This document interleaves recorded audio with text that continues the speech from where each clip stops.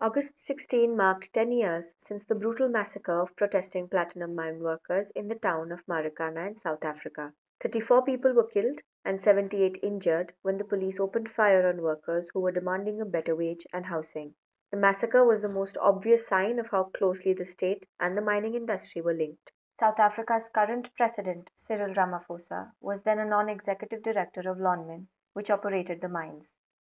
Ten years later, justice has not been delivered for the victims of Marikana. Mbuso Ngubane, Deputy General Secretary of the National Union of Metal Workers of South Africa, talks about the case and what has happened to the families of victims 10 years later. From the onset,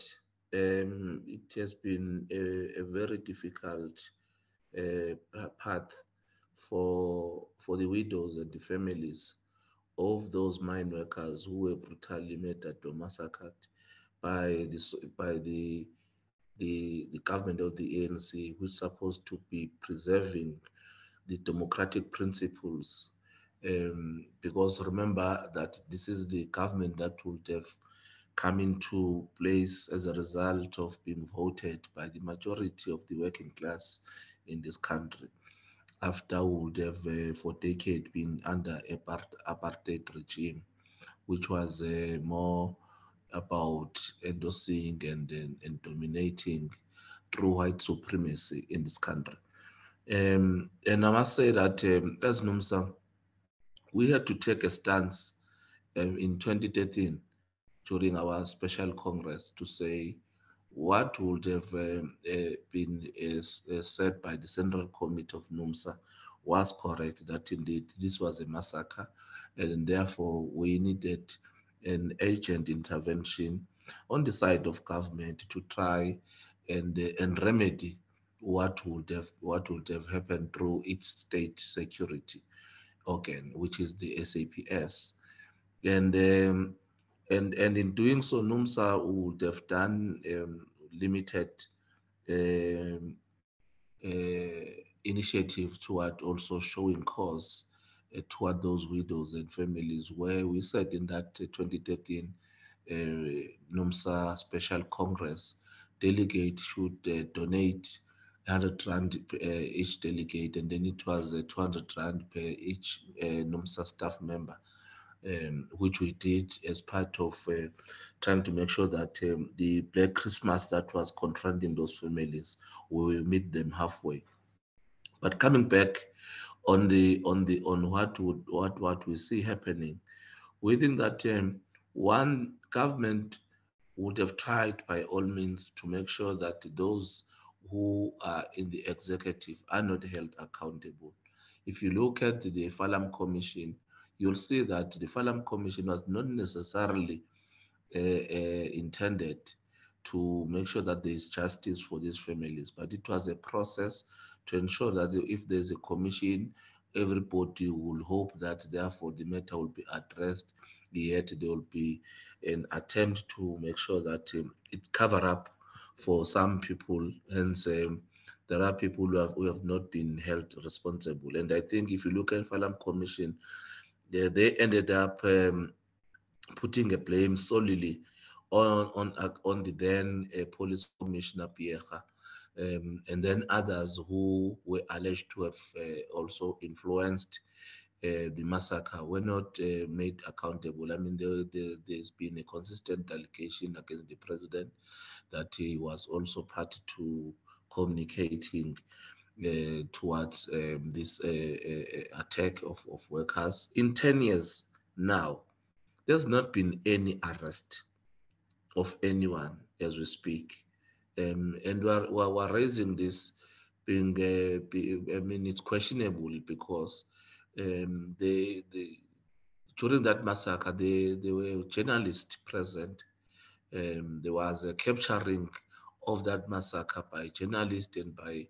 um, all and, and, other people possible. Uh, so we will, we will see the videos um, being even played in the media, in the social media, in different platforms on, on of the media. But um, I mean, in our eyes, we would have expected that those videos and the information that is uh, surfaced, it will assist the, the, the state uh, to make sure that um, it, it easily identify those who are perpetrators and then uh, at, at, the end make those arrests. And up until today, we don't see any effort toward that. And again, there, there was also a, a promise by the president that he was going to be going there and meeting the workers there and meeting the families and widows. Up until to date, we have not seen the president doing that, um, uh, including uh, even his executive at the, at the government level, because would have would have expected them to to actually do that. But however, they have not done that up until to date. So so so it is it is worrying, and um, and and for us is that um, there should now be a, a united front uh, toward make sure ensuring that we exert pressure against the state, uh, against the government, to make sure that there's something that is done. Because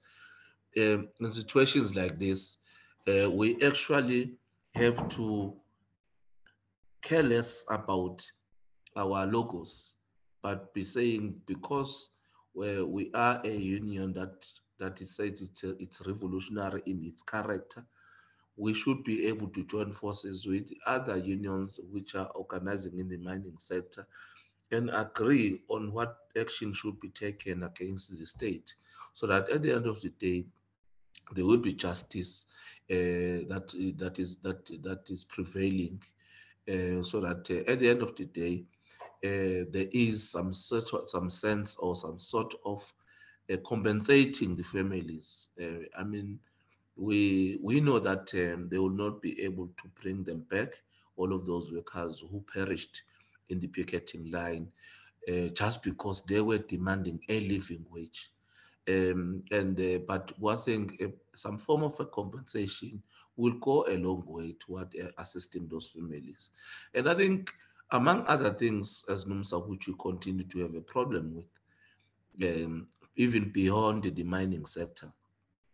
is that whenever workers have got a dispute, which is a labor dispute between the employer and the employee, and, the, and they would have exhausted the negotiating table uh, processes, then they, they, they, they go out having declared the dispute in accordance with the, with, with the law, we often find police be, uh, being at the front to brutalize our members in the picketing lines. We often find uh, police being unleashed against workers who picket peacefully in those roads in front of those companies. And our, our question has always been that why police are not um, impartial in, in ensuring that there is peace and then also protecting workers because workers, for the fact that they enter or they embark on the picketing lines, it does not mean that they are now thugs, but it means that they, they this is the only power or a weapon that they have to make sure that they put pressure against their, their intransigent employers to accede to their to their justifiable demands.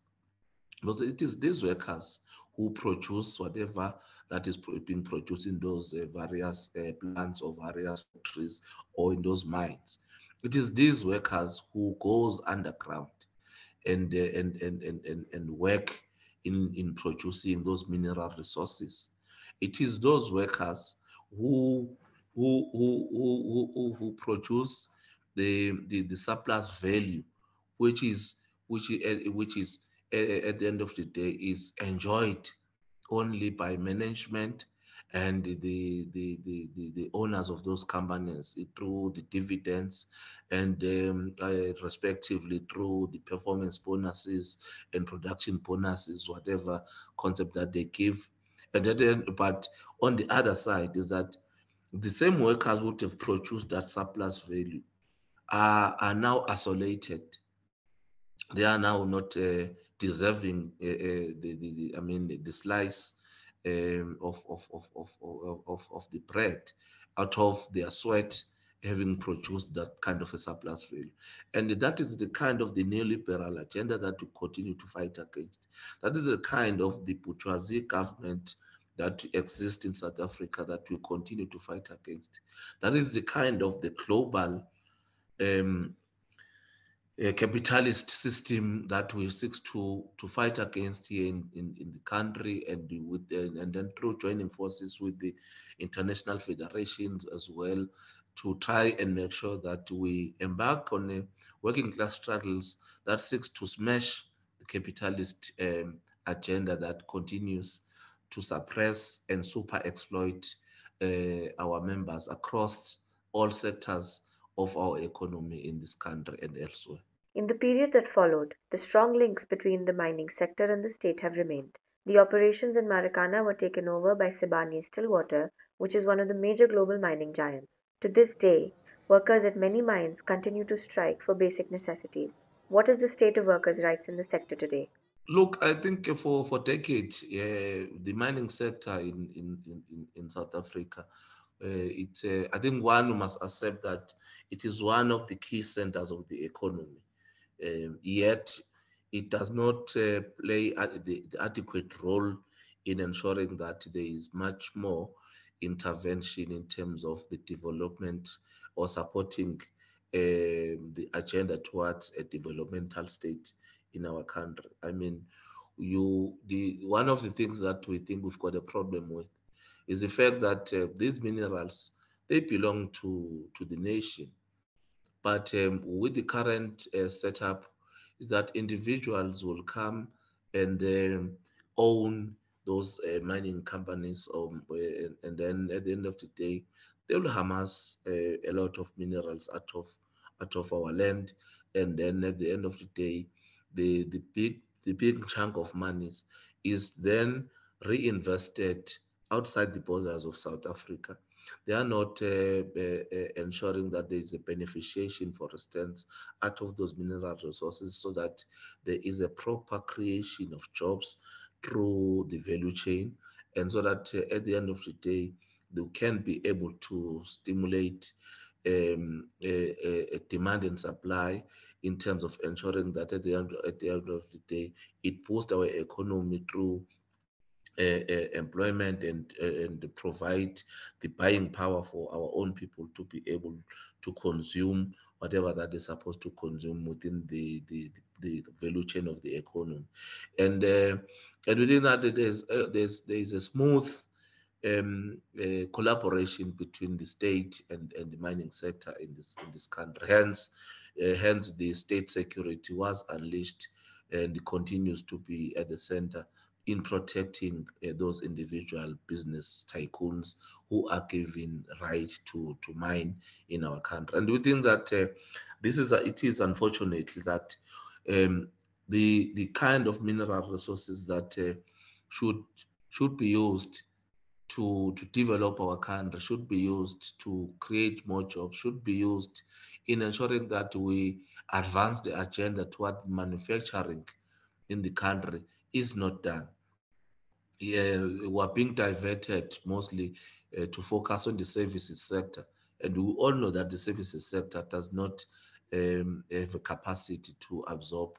a, a, bigger number of people into the employment. And that is why we would have, as NUMSA, consistently called for the nationalization of mines, call for the nationalization of the, of the key sectors of the economy in this country, so that we are able to have a government that is developmental in character, the government that is takes responsibility in, in, in, in creating jobs, as opposed to to a government that that says no no no we are going to rely on on on direct foreign investors. And for us that foreign direct investors are not an answer into our misery into our plight. The foreign investors is, somebody who sits somewhere in his or her country uh, who might not even think about us. And therefore we must use what we have in creating jobs in making sure that we pre- we present an environment that is conducive for all to be able to earn a decent living, to be able to make sure that uh, we've got a state that is able to provide uh, mostly uh, the, the, social needs for our own people. I mean, we are now a country that is mostly relying on grants as we speak. And why must we why must we rejoice that the state is giving us grants? We can't rejoice because it, it means that we must have society that is reliant on the state. We must have society that is stagnant, that is unable to develop. We must have society that is dominated by massive employment. We must have society that is experiencing the dipping levels of poverty. We must have society that continues to, to, to experience the high level of inequality and uh, and in, in the process it produces uh, more criminals than than producing a responsible societal uh, in in our in our lifetime. So the within that term they there's there is a lot that's supposed to be done in terms of transformation um, in the mining sector and in other key sectors of the economy um, and, and ensure that at the end of the day those mines they must actually work for society not for for uh, for the individual elite and mostly who are foreigners for that matter the Marikana massacre was a watershed for workers and trade unions in the country too, as it spurred a fresh round of organizing. NUMSA has been in the forefront of many militant protests by workers. What are the demands of NUMSA in this sector? Look, one is that uh, we we we need more more more improvement on the health and safety um, of, of, of, of, workers in those mines. We think that uh, it's one of the worrying factors uh, that we continue to be worried about. You remember there were there were there, there are still workers who who are who, where the, one of the mines collapsed over them. Their bodies have not been found up until to date. Um, and we continue experiencing a very complicated uh, process towards the, the inquiries in the mines when, as and when there are issues of health and safety. Um, I mean, uh, the companies, they decide uh, that they are not going to be at the center in resolving or being party to those inquiries. They, they, they normally hire law firms to come and represent them. And uh, us as unions, with the with the limited resources we have, will struggle to hire the expertise of those uh, lawyers to equate to be equal to the task against those uh, uh lawyers who, uh, who, are representing minor, mining mining tycoons. Um, so meaning that there is not appetite to correct what's supposed to be corrected. There's more willingness to to put a, a, a defense so that um, the status quo continues. So it's one of the fundamental demands that we continue to to advance. And um, the question of um, uh, the living wage continues, that struggle continues. We're saying that uh, it cannot be that uh, the the uh, up until to date, mine workers are not even earning 20,000 as we speak. Um, I mean, it took it took their lives to demand 12,500. Uh, when we think that uh, they they would have understood what was the call for or what was the demand about up until to date, we're, we're still embarking on a struggle to make sure that at least they reach about 20,000 um, uh, so that they can be able to look after themselves and and remember that these are migrant workers in most cases. They come from different uh, uh, different provinces and others come even outside the borders of South Africa like uh, like Zimbabwe etc and therefore whilst they they spend more of their lives in the hostels they spend more of their lives in the in the in, in those mines but at the end of the day they must also look after their their families uh, who will be residing back in their in their in their birth of in their provinces of birth or in their birth or uh, birth of I mean uh, countries of birth uh, respectively. So which also that on its own puts more pressure on them because it means that you must be able to have a budget for for yourself where you are you must be able to have a budget for for your family back home. But also remember that um, workers they, they also pay what we call black tax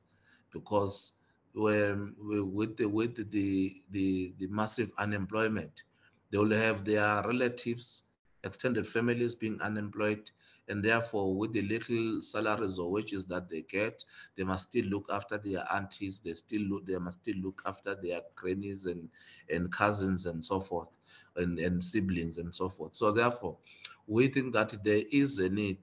to continue with the struggle that workers must equally benefit out of the surplus value that they produce in those mines. So we continue doing that. And there, is also a need to transform the, mine, the, the mining chamber in this country, which is mostly dominated